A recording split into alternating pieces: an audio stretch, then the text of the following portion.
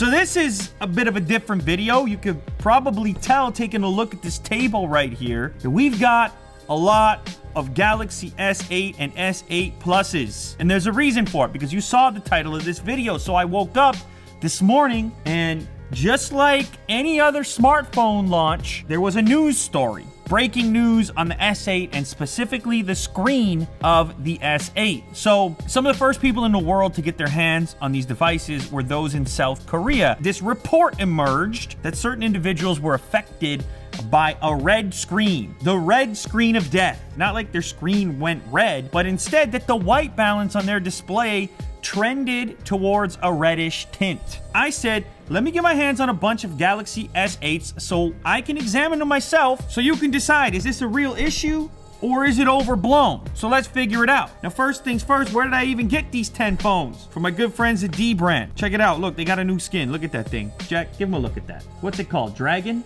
It's unbelievable.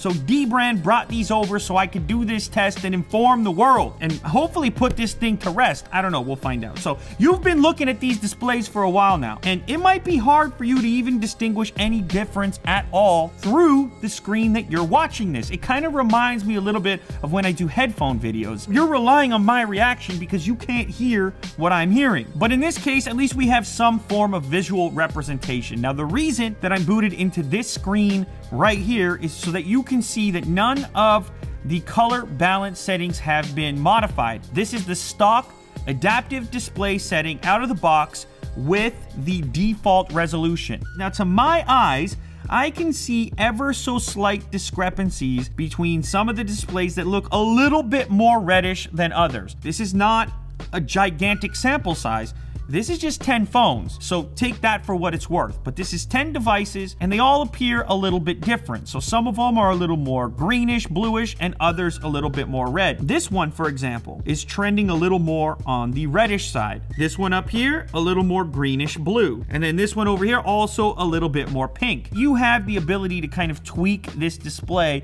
better than a lot of other displays out there with this color balance setting. So if your display is a little more red, you could grab the red value and bring it down a little bit, maybe into something that's a bit more pleasing. But what the articles were stating, even after the adjustment, still remain a kind of displeasing reddish hue. So what I've done is I got this little device. So this guy right here is called the Nix, and it's from a previous video I did. It's all that silica gel, he's drying up from the inside!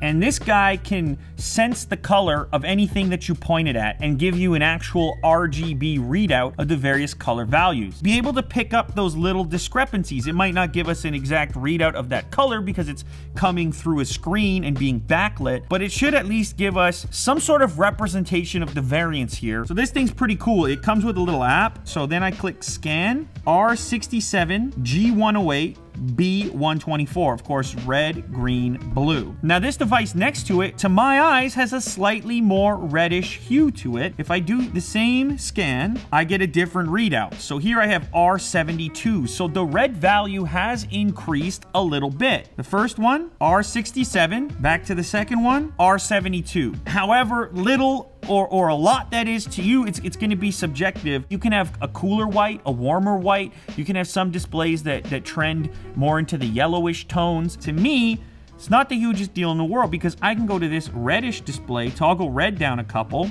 and what can we do? We could go from 72 to 69. Now, what Samsung has said is that they are going to release a software update which will likely give you a few more stages on this color balance tool here to potentially push the red back even more if it happens to be something that's bothering you. There will be a discrepancy in all displays. It has to do with the manufacturing process and how difficult it is to get absolutely even tones across the board when it comes to OLED panels. That said, looking at 10 devices here, I have to say I'm pretty impressed with how close they all are. Even my little device here senses very little variation from one to the next. R68, R71, R68, R67, R69, R70. Basically, every single display here fits between R68 and R72. But of these 10 devices, I think myself and you as well, you would be happy to use any of these and you probably wouldn't grab any of them and say, hey, what's up with this red display? So if you were at all concerned about possibly bumping into a red display issue as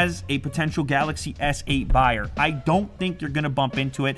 Sure, I could have checked 100 phones, but this is a pretty decent sample size. And if that's not enough for you, apparently Samsung has said that even if the software update and the increased ability to tweak the color with this new software, which by the way is supposed to come out next week, if that's still unsatisfactory to you, then they actually will replace the hardware. From what I've read, the red tinge is probably not software related. If it is bothering you to that extent, chances are it's the, the way that the display was manufactured. But even if that is the case, apparently they're gonna swap them out. This might be one of those situations where there's just a few devices affected. Hopefully that's the case. If you've got a Galaxy S8 or if you've seen one, let me know how yours looks, if it's a little bit red or not, down in the comments there. But this video just serves to give you a glimpse at a bunch of them all together. Because if you were to walk into a store, they're not going to have 10 side by side like this. There's very few opportunities to see a bunch and to recognize, hey, what's normal and what's not, and what is the range that it should be within. And these 10 phones seem to point in the direction of relatively decent consistency here. And just for fun, let's do an iPhone while we're at it. So this is the iPhone 7. Ooh, our value of 85. So there you go. If you always wanted a reddish display, and here's the 7 Plus, R88. So you want to talk about red-ish displays. The iPhone products not only trend a little bit more red, but they're not even identical between both models here. Here's one more iPhone 7 Plus. If you missed this video, look at that. 24 karat gold. 87, 87. Ooh, these ones are maybe exact. Anyhow, displays vary quite a bit. And while you're there squinting and staring at your brand new S8, starting to wonder, is yours affected? Chances are it's not as far off as you think from the other ones that are out there. Did we put it to bed? Maybe not. Maybe a bunch of red displays emerge. Maybe we just put it to rest for now. I don't think you're gonna have to worry about it.